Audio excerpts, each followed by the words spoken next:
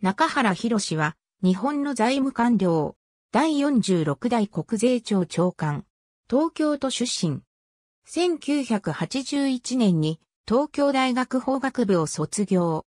弁論部部長。東大法学部を卒業後は大蔵省に入省。理財局資金第一課に配属。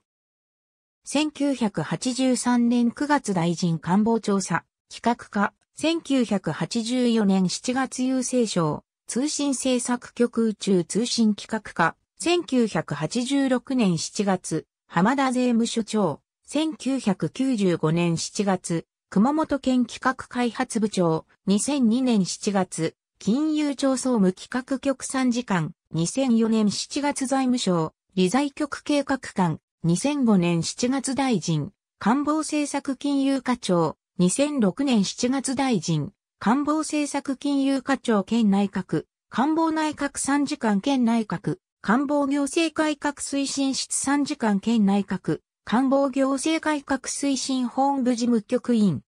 2007年9月26日大臣、官房文書課長、2009年7月14日、主計局次長、2013年6月28日財務総合政策研究所長、2014年7月4日、理財局長を経て、2015年7月7日、国税庁長官に就任。2016年6月17日退官。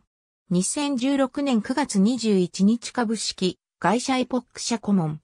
2016年10月1日新金中央金庫顧問。2017年6月21日理事。同年10月1日専務理事。2017年6月28日株式会社、シグマクシス取締役。ありがとうございます。